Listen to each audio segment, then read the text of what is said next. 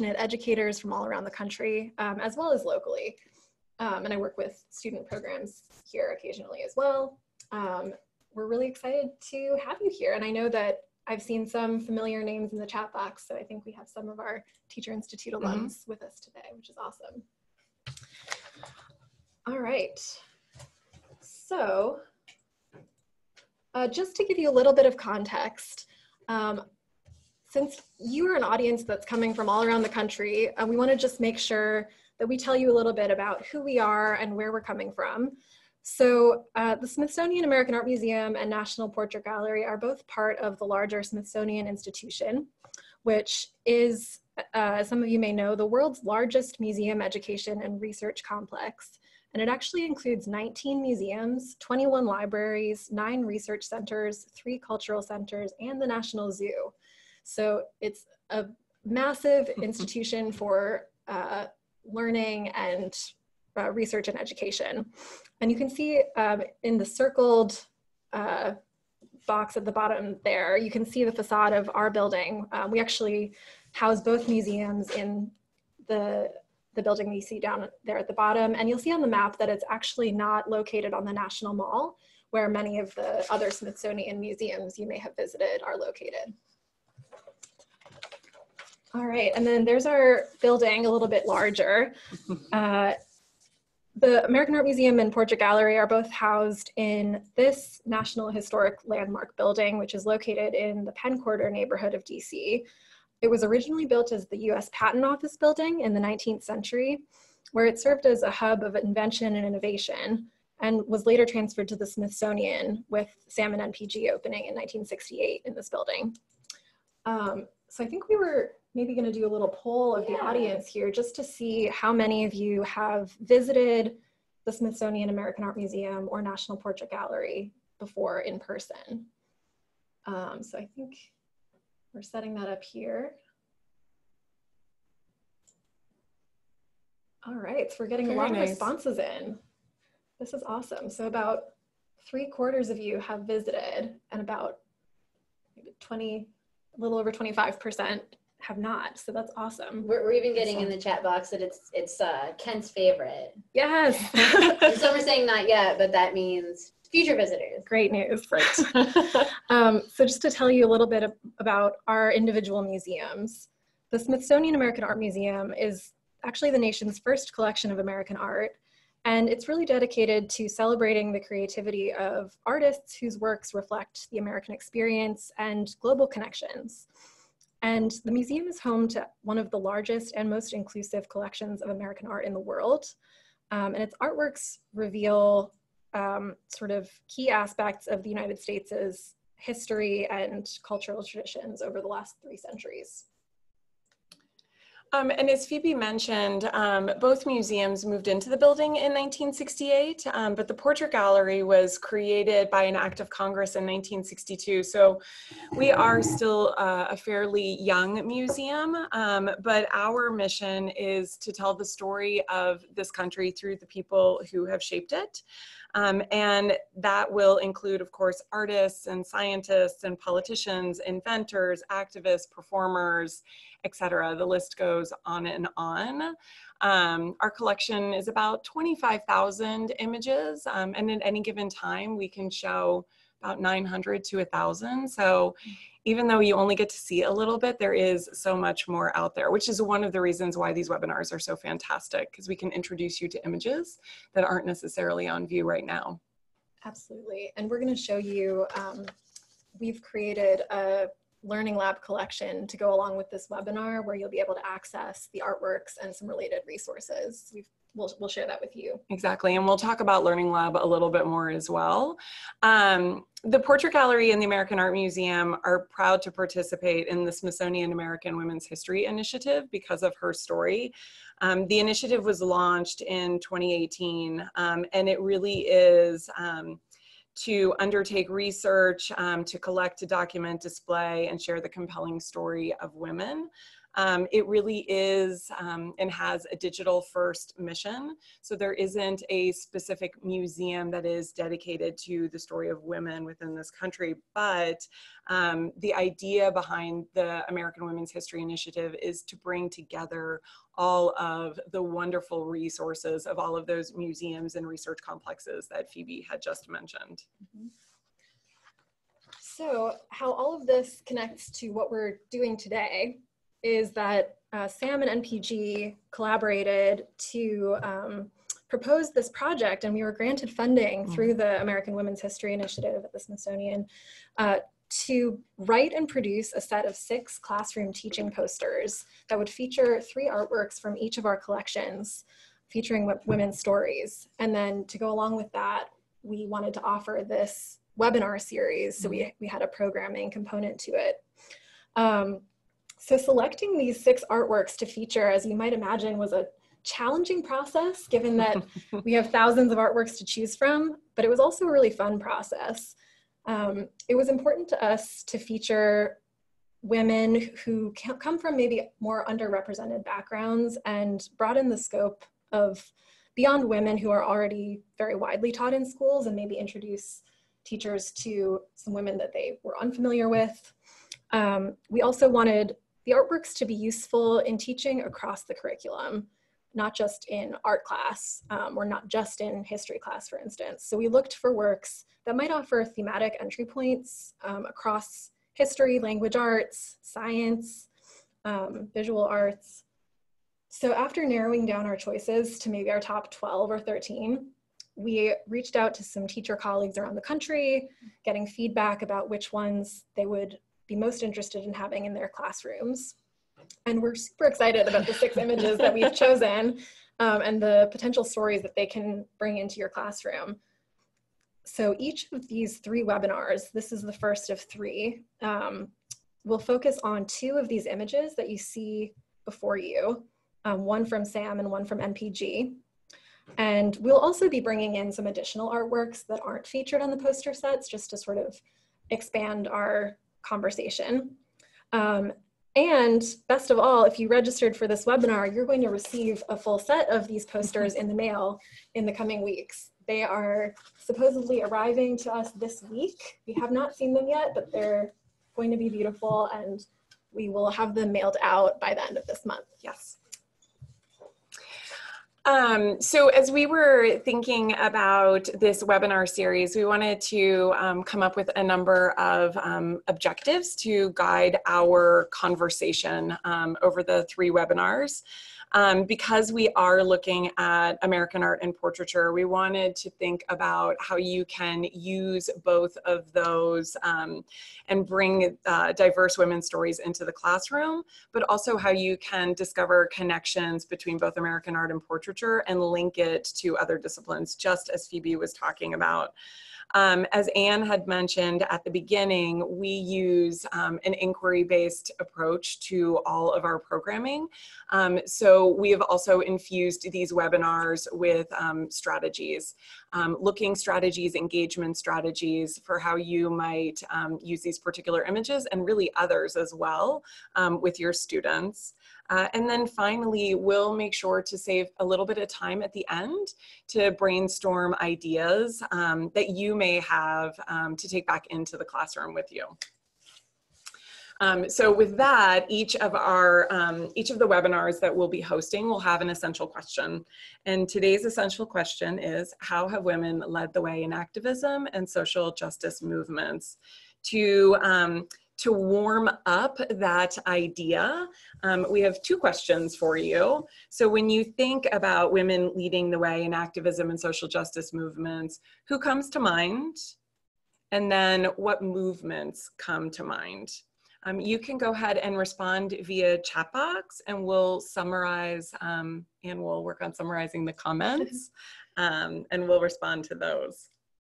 Um, but I thought that while you are um, responding via the chat box, this might be a good time, Phoebe, to just sort of circle back on Learning Lab um, and what that actually is. I'm sure that we have participants um, that um, have used Learning Lab, but it is um, it's a Smithsonian interactive platform um, whereby you can discover millions of the Smithsonian's objects and resources. You can create content um, with online tools, and then you can share these collections um, that you have created.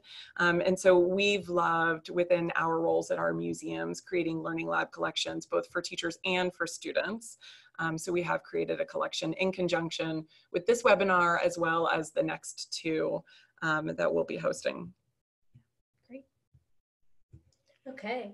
So Lots of responses in the chat box. This is great. Those comments are coming in fast and furious, and I love what I'm seeing. I'm seeing everything from Lucretia Mott to Serena Williams, um, and everything in between, and uh, both sort of more historical movements, women's suffrage, and um, sort of 19th century figures up in, until today with Me Too movement and Black Lives Matter, um, LGBTQ rights. Uh, several Angela Davises coming through, and I'm also seeing you know women who have um, sort of performers as activists as well. So uh, voting rights, civil rights.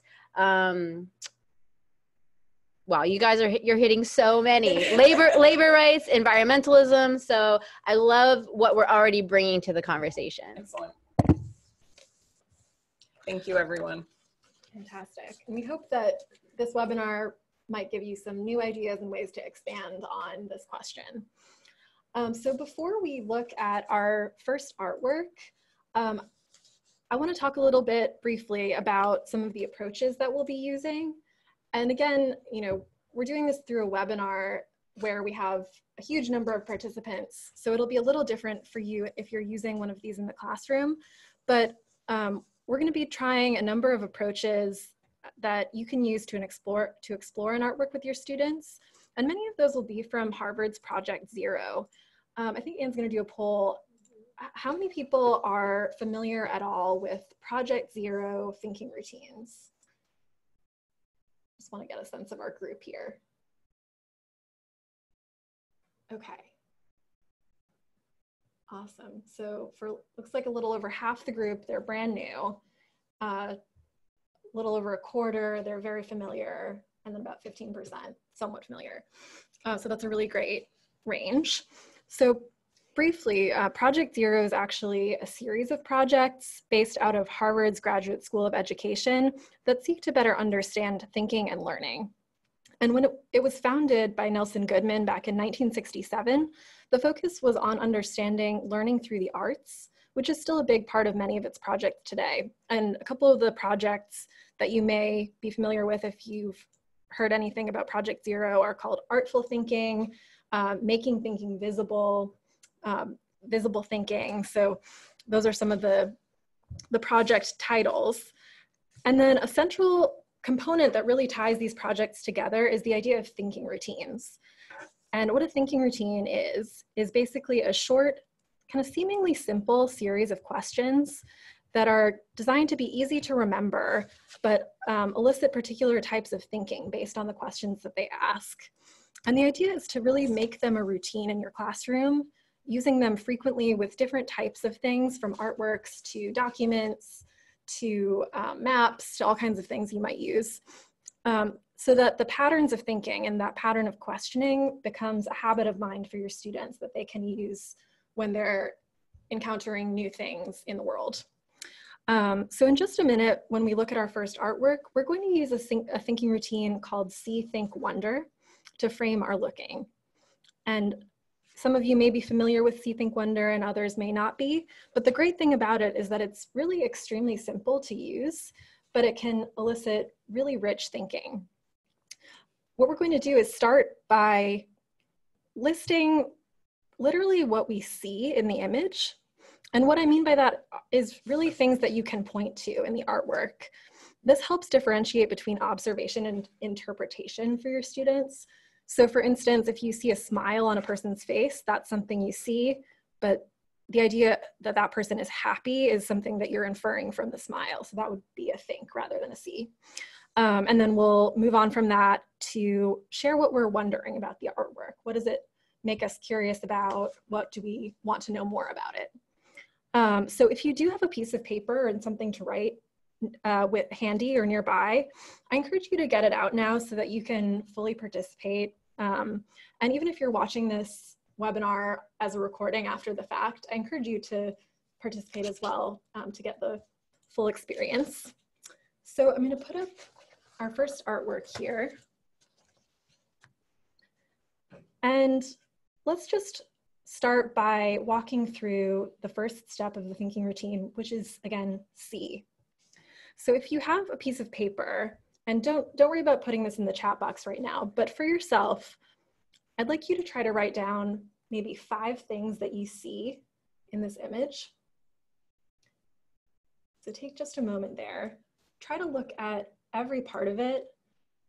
You might imagine that your eyes are a scanner going over the whole image and just try to write down at least five things that you see.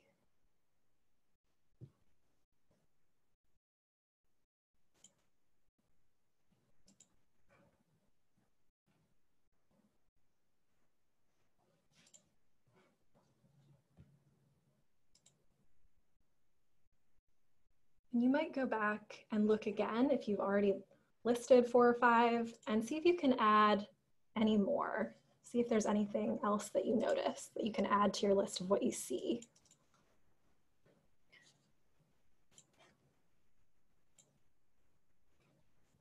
And in the classroom, I would really give a good amount of time to this and I might document students' responses on the board or um, on a piece of chart paper. Um, for our purposes today, I'm gonna have a little bit of a conversation with Brianna here about what she sees. And while that's happening, I'm going to encourage you, if you're if you're ready, to start responding in the chat box with some things that you're thinking and wondering about this artwork. And then Anne can kind of summarize those in a few minutes. So feel free to share what you're thinking and wondering about this artwork in the chat box. So Brianna, what yes. do you see in this artwork? Um, well, at first glance, I see um, what looks like um, a painting of the United States mm-hmm. Um, with um, a lot of dripping paint. Um, so it feels a little bit messy. Mm-hmm and you can see, or I can see um, the dividing lines um, among the various states, um, as well as a differentiation in color um, by state.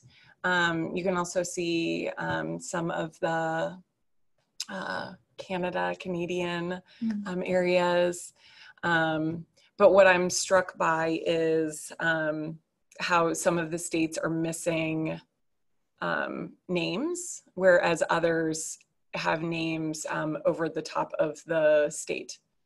Okay, awesome. So you've noticed that we have a map of part of North America, the what we recognize as the United States, and then part of Canada and Mexico. You notice that there are several different colors and that there's sort of this effect of paint dripping down the canvas. And you said that makes you feel like it it's maybe messy. Um, and then you notice that the that some of the states and place names are labeled and some are not. Mm-hmm. Awesome. It's a great mm-hmm. start.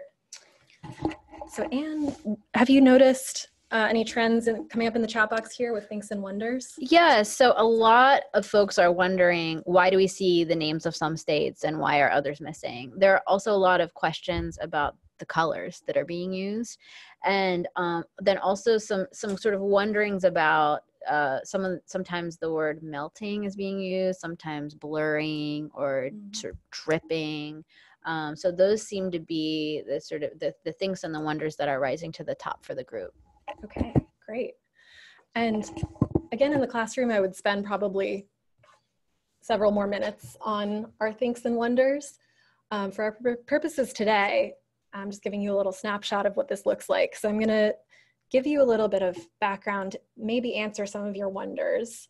Um, you can see the basic label information there. This is a piece called State Names that's in the Smithsonian American Art Museum's collection. And it's made by an artist named Jaune Quick-to-See Smith in the year 2000. And Jaune Quick-to-See Smith is a contemporary artist who is an enrolled Salish member of the Confederated Salish and Kootenai uh, nations. Um, and this painting, which is oil collage and mixed media on canvas, what Smith has done is she has omitted all the place names that derive from European sources and kept only the names that come from indigenous language. So you can see uh, a lot of the states on the East Coast there that come from European names are missing, um, where there's, whereas there's a lot in sort of the middle part of the country that are names of uh, tribes or come from native words that come from native languages. Um, and then several place names in Canada and Mexico as well. Um, so what she's really doing here is kind of confronting the viewer with this this contested space where we have uh, the presence of native peoples being forefronted on these lands that were historically where they were historically removed from um, and a lot of you were looking at her stylistic choices the colors the effect of the paint dripping down the canvas. Um, and maybe those made you think of tears. Maybe they made you think of blood pouring down the canvas. Those are things that come up a lot when we look at this painting with students or adults. Um, but we have this sense of blurred boundaries and maybe violence and sadness and anger. And these are all effects that Smith is creating through her stylistic choices here. And one of the fantastic things um, that we have access to through the Smithsonian American Art Museum is a video interview with the artist. And this is part of a growing series of artist interviews that we are producing and adding regularly to our webpage and our YouTube channel. Um, so I highly recommend utilizing these in the classroom and letting your students hear directly from the artists when possible. So we're gonna give you just a little clip here um, where you can hear directly from Jaune Quick-to-See Smith. In high school, I decided that I did, yes, want to go to college and take art. At the end of the year, the professor called me into his office and said, You can draw better than the men, but I have to tell you, you need to go into another field. Because he said, You'll never be able to be an artist. Women are not artists. I like to use maps because maps can tell stories. So, what I did with this particular map is to erase all European presence. I eliminated every state that has a European name, and I kept only the states that have Native American names, because the whole place was ours until the invasion came, the Great Invasion. Part of what I do in my work is using my work as a platform for my beliefs and can I tell a story? Can I make it a good story? Can I add some humor to it? Um, can I get your attention? Those are all things that I try to do with my artwork. Great. So if you had watched the rest of the video, Smith goes on to talk about how she really feels like her work will go on being political. And she, st she states, I passionately believe in the life that I live. And um, she she goes on to um, she talks about how her tribe is her biggest influence and she she as an artist and activist regularly uses her platform and success to lift up other native artists. And she's curated exhibitions of their work um, and she regularly speaks and advocates for indigenous rights and representation. Um, so this commitment to lifting up contem contemporary native americans in our world today is really important to smith. And i just want to end on this by raising the idea that while this painting does convey a lot of loss and violence and grief, it's also a testament to the resilience of Native peoples. Um, and Smith, Smith says, we are alive everywhere across this nation. So you can think about um, how this, this painting really helps us see the contemporary presence of Native Americans and uh, making them visible. This is really important in a uh, classroom today where the vast majority of mentions of Native peoples in textbooks, um, studies have shown are pre-1900. So it's this is an opportunity to bring in a contemporary Native woman's voice. Um, I just wanted to add, Phoebe, I'm seeing in the chat box that people are already thinking about how they're going to use it in the classroom, which is fantastic. And then someone also had a question about um, where this video can be viewed. Uh, we are going to, it is part of the Learning Lab collection that we're going to share with you. We'll put that link in the chat box. Um, at the end of the session.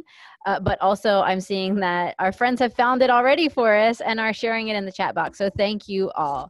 Um, there's a question about which tribe uh, Jaune Quick to see Smith is from. So she is Salish. Um, Mhm. She's a member of the Confederated Salish and Kootenai tribes. And she, I believe she was born on the Flathead. Yes, the Flathead Nation. Yes. um, Montana. All right, so we're gonna um, switch gears a little bit um, and take a look at um, a portrait of Dolores Huerta, um, which is in the Portrait Gallery's collection. Um, so we've taken a look um, at an artist as activist. So let's take a close look at a portrait of an activist.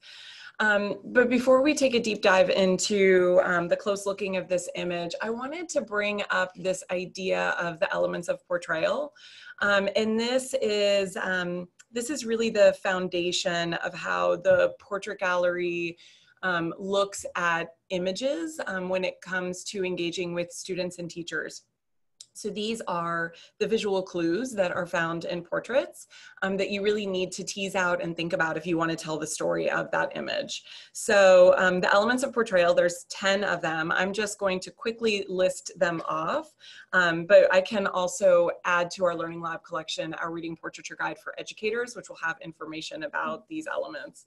Um, so when you're considering the likeness of your subject, the person in the portrait, we're always thinking about pose, um, expression. We're thinking about the hairstyle of the individual, the clothing of the individual. We need to think about medium. So what materials were used to create um, this portrait, whether it is oil on canvas, an engraving on paper, or a photograph, etc. Um, the scale, um, and scale means really two different things for us. One is the size of the image itself, but also the size of the subject within the portrait. Uh, the artistic style, um, so thinking about the artist and his or her style, um, which really does go very, um, which is very much aligned with medium. Um, our setting is always important, as are any objects that might be represented within a portrait, and then color. Um, and so color, like the color tends to um, set tone and set mood within images. So now that you have those elements, you can consider them your looking toolkit. Um, I want us to take a few minutes and actually jump into this portrait. Um, and you are going to choose a spot within this image that you're gonna jump into. And once you are in your spot, I want you to consider your five senses. Um, so Anne is going to zoom over the image um, slowly, but as you're thinking about where you want to jump in, you can be as big as you are or as small as you want to be. Um, that's always what I tell students. Um, and you can jump in anywhere. So think about all of those elements. But once you find that spot that you want to jump into, think about um, what you hear. Think about what you might smell. What do you see? What can you touch and what texture is it going to be? And then finally, and probably the most difficult one is what are you going to taste?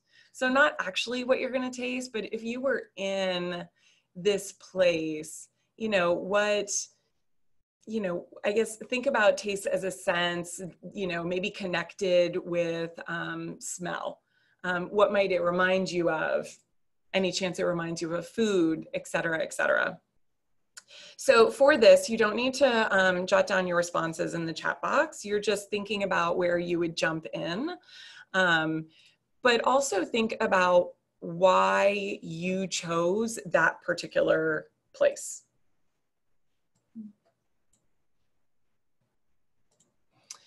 So, based on your experience of jumping in, what do you think is happening in this portrait? And this you can respond in the chat box.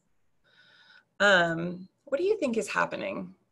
If we think about um, those elements, right, we can tell that our subject, in this case, Dolores Huerta, um, is certainly outside. We see a car in the background. Um, we see trees. So where, what do you think might be happening here?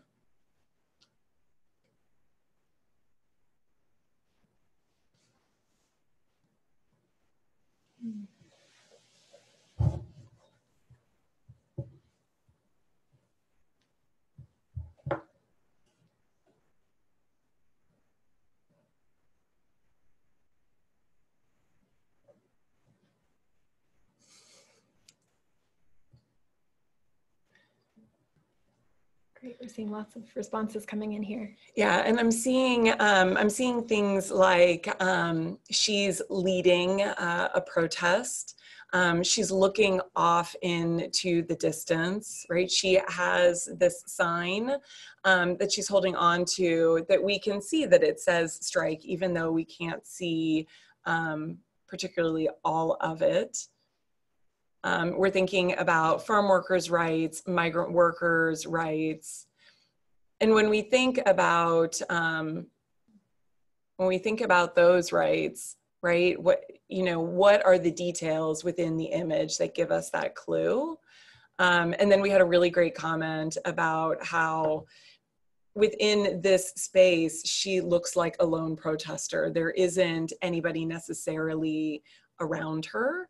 Um, and so we don't have this sense of a larger scale um, protest, but also that it looks like a cold, colorless, cloudy day, um, which I think is interesting. It might be a product of, um, of the fact that we are looking at a black and white photograph, which we will come back to in just a little bit. Um, so this is a 1966 photograph um, that George Ballis um, took. Um, George Ballis is the photographer.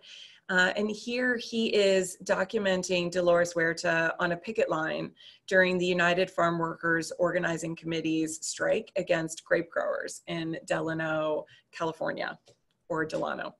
This strike um, really was a turning point because it led to an agreement between, between the UFWOC um, and Schenley Industries and it marked one of the union's first triumphs in a battle with California grape growers that lasted half a decade.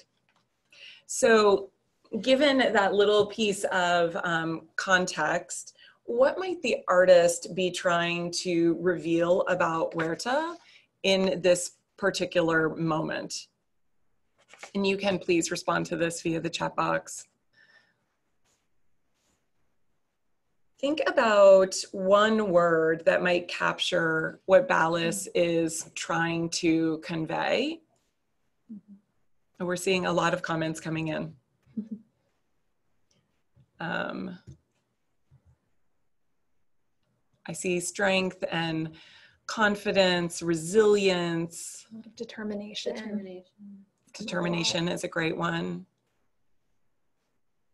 right? And again, going back to this idea that the way that the artist has portrayed her here, that she's alone, um, that certainly says something. Perseverance is another really wonderful one. I get this sense too when I look at this image that because she has this scarf wrapped around her, um, that it feels like she's been she's been there for a while. Um, Wonderful. Um, so what, what I'd like to do um, is introduce you to um, Taina Caragol, who is the Portrait Gallery's curator for Latino art and history. Um, about once a year, we host an exhibition that stays up for a year. Um, it is our One Life exhibition. Um, and that exhibition is about one subject in our collection told from the perspective of one of our curators or historians. Um, and so a few years back, we hosted um, our One Life Dolores Huerta show, and Taina Caragol was the curator who, um, who curated the exhibition. So we wanted to show you just a very short clip to put, um, I guess, to put the biography of Dolores Huerta into context with the image that we were just taking a look at.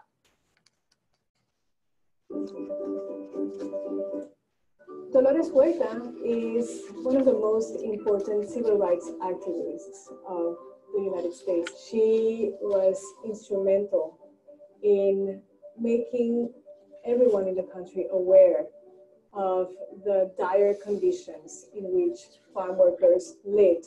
This was not a reality that everyone was aware of in the 1960s. Dolores co-founded the National Farm Workers Association with Cesar Chavez in 1962. She was picket captain. She was lobbyist at a state and federal level.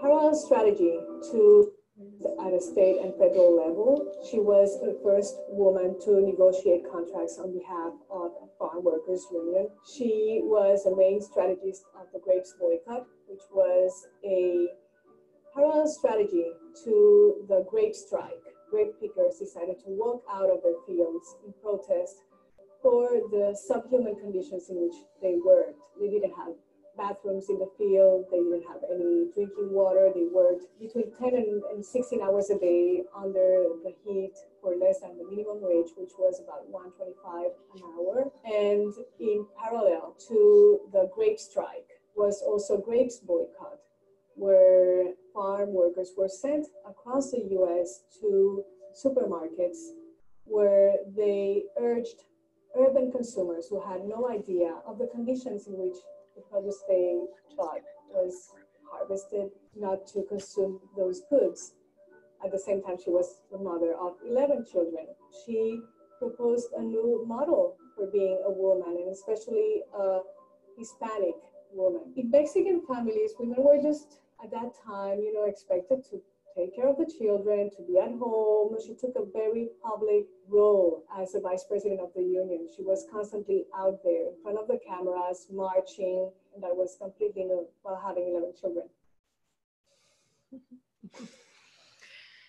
Um, her Dolores Huerta's biography is so fascinating to me. Um, and you can see um, that there were a number of other portraits of Huerta that were in our One Life show. And one of the things that the Portrait Gallery did um, with Google Arts and Culture was to create an online exhibition related to this One Life show. So that will also be included um, in the Learning Lab collection. So if you do decide that you're interested in teaching Huerta in the classroom, or maybe you already do, um, there are a number of really wonderful images um, that you can use to help tell her story. Um, so one of the things that we're, oh, I'm seeing that somebody is asking, um, Stephanie's asking about who took the photo. So George Ballis um, was the photographer who took the photo. I'm, I'm wondering, uh, as you think about how um, biography and uh, the visual connect, how the context of having a little bit more information about Huerta um, might extend your understanding of the portrait. Um, and for that, I'm going to ask Phoebe um, Yeah. what she's thinking. For me, hearing Taina talk about Huerta's biography, um, hearing about her as a mother of 11 children really rounded out this portrait for me and helped me see her sort of in a more fully fleshed out way hmm and really thinking about you know i saw her strength as a as a protester but um, now i'm thinking about you know other aspects of her life and what it what it took to raise 11 children and Right. do all of this and um, you know sort of seeing maybe i'm i'm thinking about maybe a vulnerable side in addition to the strength that and confidence that we see in this portrait. And i think that really humanizes her. Right, right, absolutely. And I think it's also really, um, it's important to think about too, right? The um, the, the purpose of photography, um, which makes up the greatest uh, portion of the portrait gallery's collection, actually. Um, and so when I look at um, photographs in our collection, I always really do think about purpose, right? In its day, when it was created in 1966, what purpose would it have served in that moment? Um, and when I was doing research for um, for this particular image for the teaching posters, um, I found out that Ballis, the artist, um, who was a journalist first, um, he was compelled to document these strikes when they began in 1965 um, and did this for a period of time where he photographed strikers, um, he photographed the children who were brought in to be strike breakers, um, and he was photographing the growing protest and rebellion in the vineyards of Central California. And I think what's most amazing is during this time that he was photographing, he created more than 30,000 images of migrant workers and their surroundings, um, publishing many of them in Newsweek and Time um, during this particular era. So as we think about this idea of purpose, um, I actually want to switch us to um, another image um, in the museum's collection um, that was taken just five years later um, of two women, um, of Gloria Steinem and Dorothy Pitman Hughes. Um, and while I don't think we'll go through um, this Think, Puzzle, Explore activity um, as an entire group, I did just want to talk about it a little bit because I see Think Puzzle Explore as a natural progression from See Think Wonder.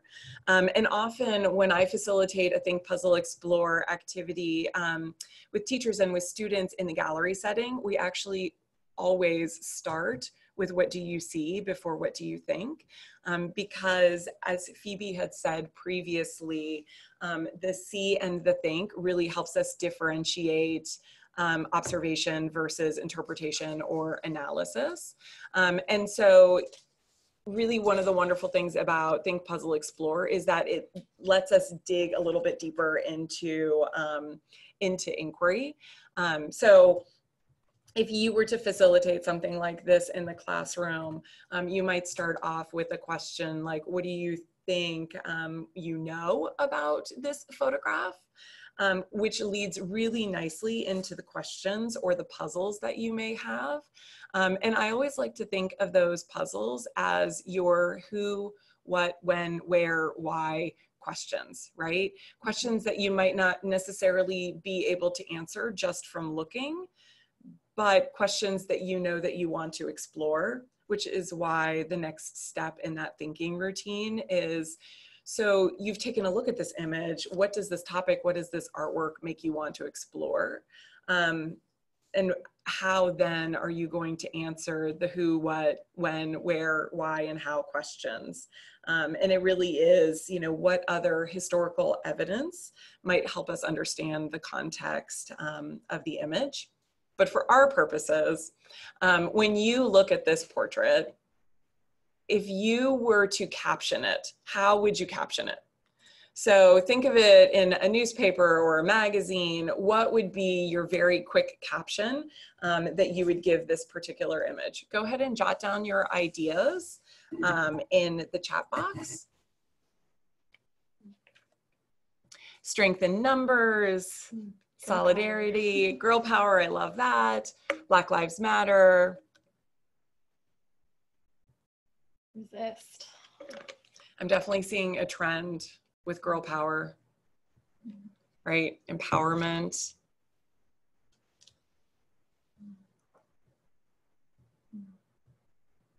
Intersectionality, excellent. Unite. So um, I want to bring up um, the actual caption for, um, for this image. So you can see it at the bottom. It says, Body and Soul, Gloria Steinem and her partner Dorothy Pitman Hughes demonstrate the style that has thrilled audiences on the Women's Liberation Lecture Circuit. So this image was um, taken by Dan Wynn, um, the photographer. And just as an aside, um, Gloria Steinem was the women's activist who um, who basically became a Playboy bunny for a period of three weeks um, in the 1950s and then wrote about her experience. And so Dan Wynn already had um, uh, really an artistic relationship with Gloria Steinem because he was the one that took the photos that illustrated her articles. Um, but this particular image, um, really was a way to illustrate an article that was written about Gloria Steinem by Leonard Levitt um, in Esquire magazine in October 1971. And the title of the article was She. Um, and it was a really interesting article. We're linking to it in the Learning Lab collection. Um, I would highly recommend it. Um, but for me, I was thinking about this connection or maybe even lack of connection between what we see and the caption. So um, a question to for you all to think about um, is how does this caption really either affirm your understanding of the image or how does it create dissonance? And I'm not gonna, I'm just gonna pose that out there as a question. We're not gonna take the time to um, answer it in this, in this moment. Um, but what I do want you to think about is the use of black and white photography. Um, so in 1968 and 1971, when both of these portrait gallery images were created, color photography was already widely available. It had become widely available in the early 1960s. So why did both George Ballis and Dan Wynn choose to work in black and white? What mood are they trying to convey? That I would love to hear your responses in the chat box. Um, and while we're waiting for responses, I'm going to pose the question to Phoebe too. What do you think? Um, what do you think that they're trying to do by focusing in on black and white photography when they could have easily created color photographs? Well, for me, I, I think black and white tends to create sort of this timeless effect, this iconic yeah. iconicness of the photograph that maybe takes it out of time and place a little bit and um, sort of lets us focus on sort of the the key elements of the image. Um, it creates sort of a stark quality. Um, yeah, I don't know. Do you have any other thoughts on that, Brianna? No, I, I agree. I think that there is this idea of um, of the image being timeless, um, which actually leads us so perfectly into um, the next two images that I just wanted to touch on before I handed it back over to um, Phoebe, which is um, Steinem and Pitman Hughes, they got back together again in 2013 to recreate their 1971 image. Um, and I was I was struck by this, and it's a new acquisition for the Portrait Gallery. Um, but when we were um, when Anne, Phoebe, and I were talking about um, when we were talking about this this webinar, um, Phoebe and Anne brought up this really wonderful point, right, about um, once an activist, always an activist. Um, and I think that we very clearly see that um, with these two images side by side. Um, so with that, I think we're gonna do a little bit more comparison of two images. So I'm gonna hand it over to Phoebe. Yeah, so we've just looked at a couple of photographs and we're going to come back here for our final image to another uh, type of media that is really prevalent in art related to activism and protest, and that's uh, printmaking and graphic arts. And this, this image also ties us back to um, what we were looking at with Dolores Huerta and the farm workers' rights movement. Um, so just taking a look at this image, I'm sure you already have lots of thoughts in your mind and associations that come with it. Um, so I'm just gonna have a little bit of a conversation with Brianna and you can think for yourselves how this relates to what you're thinking about the image. Um, I want to know, Brianna, how this image is connected and or disconnected to things that you recognize or are familiar with. Right. So um, for me, um, the it automatically reminded me of um, the very small raisins boxes, the Sun-Maid raisins. Mm-hmm. Um, I mean, I, I remember them. Um, I still I still buy them for my daughters. Um, so it's very much um, an, an image that, um, that I am, that is recognizable um, on a daily basis. Um, and then, oh my gosh, as far as disconnected, I mean, obviously right we've got um, the variation on the the headline really that we see on the image but also um, the the woman um, in Sun-Maid raisins in the box has been replaced by um, a skeleton um, with still the cap and the clothing. Um, so there is this really ominous feel especially when you look at the unnaturally grown so on and so forth. So it's uh, right. There are a lot of connections to me personally, right? But Yeah. also, um, yes, disconnected. Yeah, and I think that's the brilliant thing about this image, right? That um, the artist, whose name is Ester Hernandez, has taken this iconic image that most of us grew up, you know, looking at in our lunch boxes Mhm. that we associate with childhood, um, with, you know, maybe innocence, happy memories, unless you really didn't like raisins. But um, she's subverted it in this sort of surprising and it's a surprising way that makes you want to look more closely and find out what it's about. So just really briefly, we don't have time to go into it in depth, but um, Ester Hernandez is a Chicana artist from California who was an important part of the Chicano art movement that emerged in the late 1960s.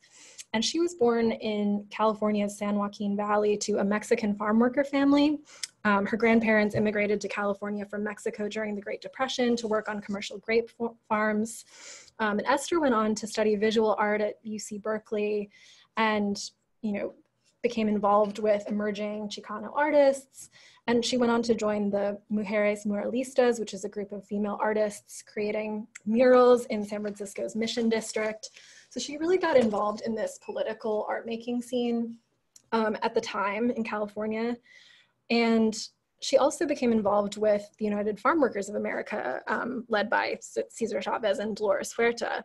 So she, um, you know, she's a female artist and activist who's inspired by sort of a slightly earlier generation of female activists with Dolores Huerta. Um, and she described the seeds for this, the idea for this print coming from a visit she made to her mother in her hometown one summer and seeing her boil water and wondering why she was doing that. And her mother showed her a notice saying that the water had been contaminated and was unsafe to drink. And she learned that pesticides that were used on the grape farms surrounding the town had, had um, gotten into the ground and contaminated the water sources. So she wanted to comment on this in her art in some way, and it didn't come to her until about two years later when she was driving on the highway and saw an image of the Sun-Maid raisins. And it sort of clicked for her that that was, that was a way to comment on this issue. Um, so this is a really fascinating artwork that's part of a much larger tradition of Mhm. printmaking, um, especially um, in the Chicano arts movement. And we have some more resources on the Learning Lab that I encourage you to explore. Yeah. Um, and then uh, j- just show you really briefly, um, we have a new image that was created in 2008 that Ester Hernandez made um, that has just been acquired by the Smithsonian American Art Museum. Um, this one is called Sun Raid. And as you can see, um, this deals with issues of deportation. Um, the skeleton in this one is wearing a bracelet that says ICE, um, referring to Immigrations and Customs Enforcement. Um, so again, this idea of an activist is always an activist, right? She's continuing to make work that deals with pressing issues today. Um, so I think we want to uh, move on here and start wrapping up our conversation. Yes, we have just a few minutes left and we will end on time because we know you have places to, to go. So we're just going to do um, sort of a, a quick kind of, uh, kind of wrap up slide and ask you some questions um, to consider in in uh, conclusion and then as you're sharing your thoughts in the chat box we're going to go through some other housekeeping uh, slides um, and then we'll we'll recap uh, at the very end Great. So we're curious, um, you might think about this for yourself and answer in the chat box. What new ideas has our discussion of these four images given you about women and activism? And what ideas are they giving you about how you might utilize them in your classroom? Um, so feel free to respond to those. And we're just going to go through a few last uh, housekeeping issues as Anne mentioned. So again, um, we have a Learning Lab collection ready for you. Yes, um, and Anne is going to put the link to the collection um, into um, into the chat box. There it is. Perfect. Thank you. Um, and then um, I think probably the very next thing that comes up is going to be um, the posters themselves.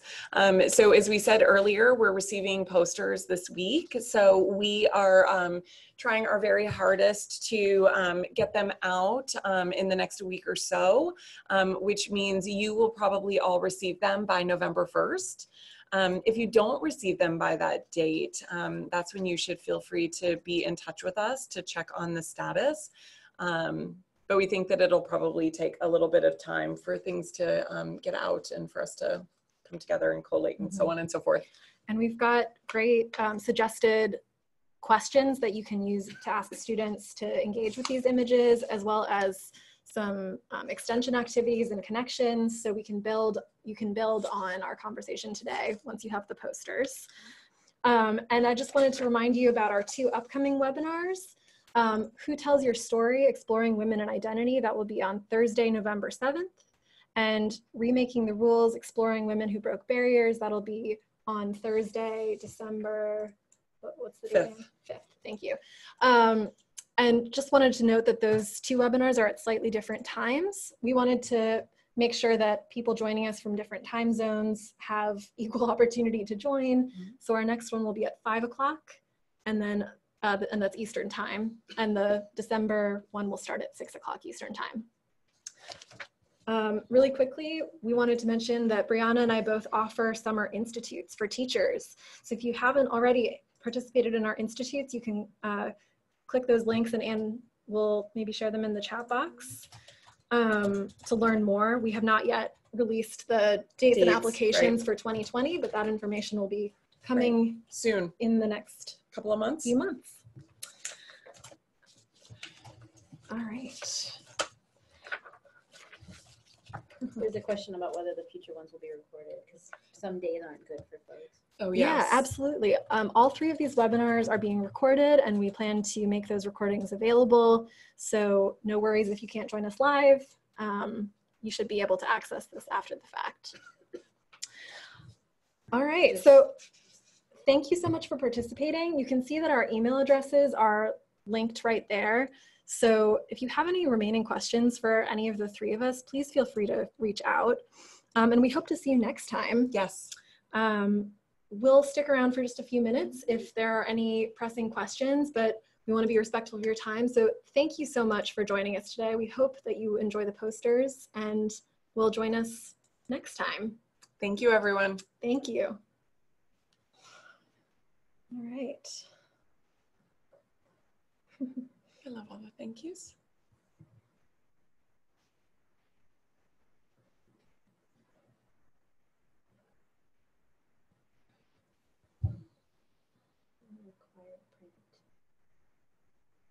Hmm.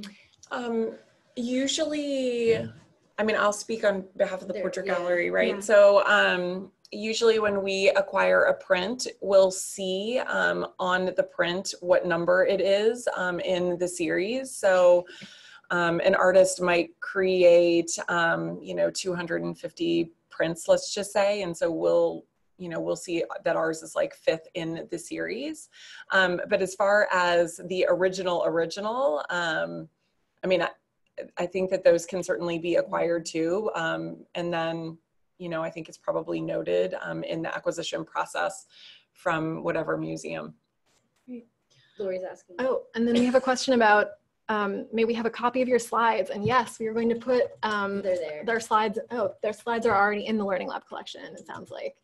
So you should be able to access them through that link that Anne shared, which she's just posting again.